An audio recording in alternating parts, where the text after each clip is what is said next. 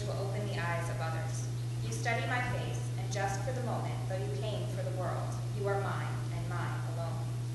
I made you, and you made me, and we gaze at each other in equal wonderment.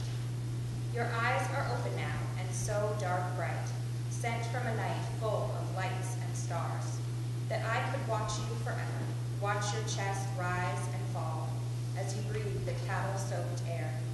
I would like this moment to last forever.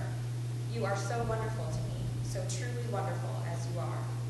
But not my will, Lord, but yours be done. I must hand you over, for the world cries out for you, though I cry out to let you go. Just for tonight, let the future leave us in peace. Close your eyes, baby. Close your bright eyes on the dusty darkness of the world. There is majesty in you, but for now,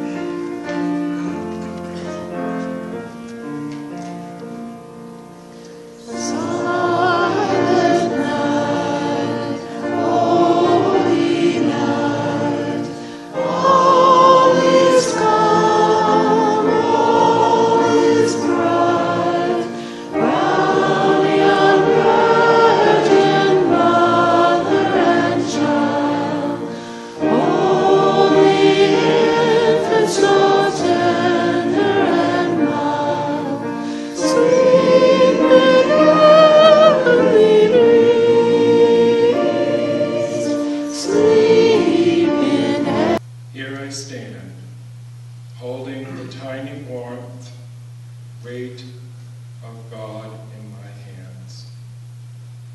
Such a tiny weight to lift the huge weight of the world. Here I stand, the proud father? Not me. I've been utterly humbled You're not my offspring, not part of me, and yet at the same time, you're already an explicable part of my life. I was your hasty midwife who delivered you with unskilled, trembling hands, who pulled you from your haven into this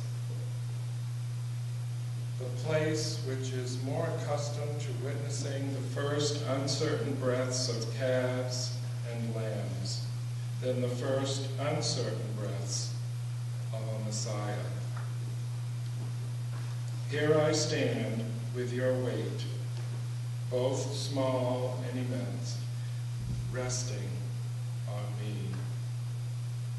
So maybe I am proud proud of the privilege, proud of being your father just at the present.